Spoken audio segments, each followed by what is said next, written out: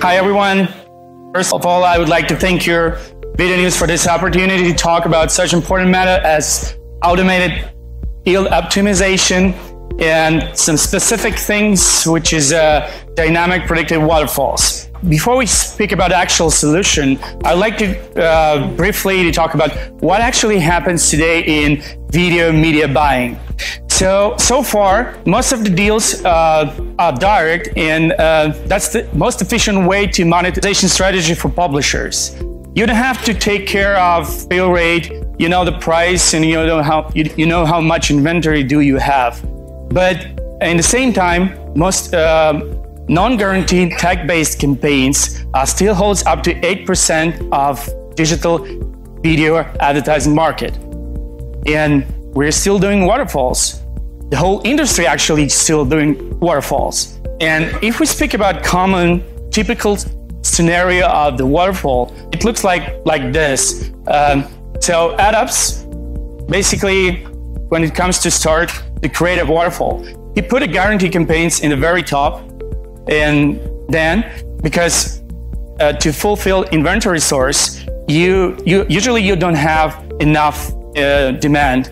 So he to, to fulfill their, the fill rate and, and to, to continue day to day to serve the ads, he starts to add uh, another tags starting from high paying tags to low paying tags. And if it comes the first time, uh, when he doesn't know anything about inventory, he, uh, um, of course, he, he putting a high paying one. But if he knows about source, he can put some low paying tag, but, with, uh, with less uh, latency and less number of errors.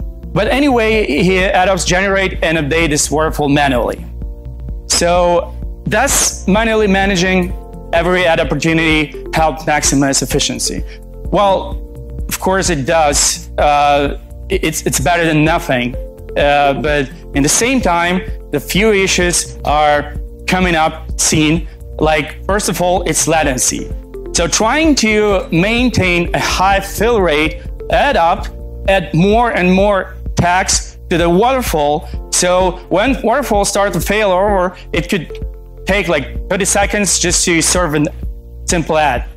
Uh, he can fix a problem only when it occurs because what he have he has is just retrospective analysis of what already happened. Well, next thing is people make mistakes. So such decision making can result in a human error. He doesn't have uh, real-time data, so he's slow on reaction to traffic changes. And uh, one of the important things, uh, of course, any company in the video industry, it wants to grow their demand and supply. So if it grows, they have to add more and more AdOps force, which costs you more and more ca uh, human capital. Um, and when we speak about traffic, traffic is not a publisher. Traffic is a website or domain name.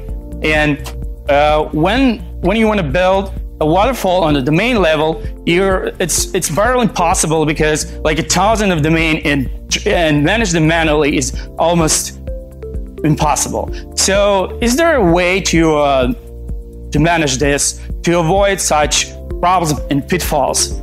Well, what we think there could be an option and could be a solution is automated waterfalls. Well, that's that's how we see it could it works. So let's imagine having a big data from numerous campaigns pulled out from the system allows us to determine traffic specifics and ad campaign results like, uh, like errors, latency issues, fill rate, to map it uh, on a domain level and manage this all out automatically. So this will give AdOps more time to actually optimize an yield, focus on improving efficiency, and switch from retrospective analysis to a prospective uh, analysis.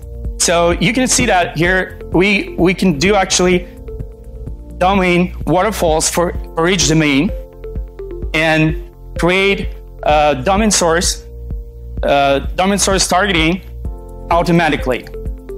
What actually this solves, the automation solves, First, it solves latency first of all, because for each domain, we automatically can optimize time and put uh, so AdOps can just uh, have just few few settings like uh, maximum latency, number of errors, uh, number of sources of demand.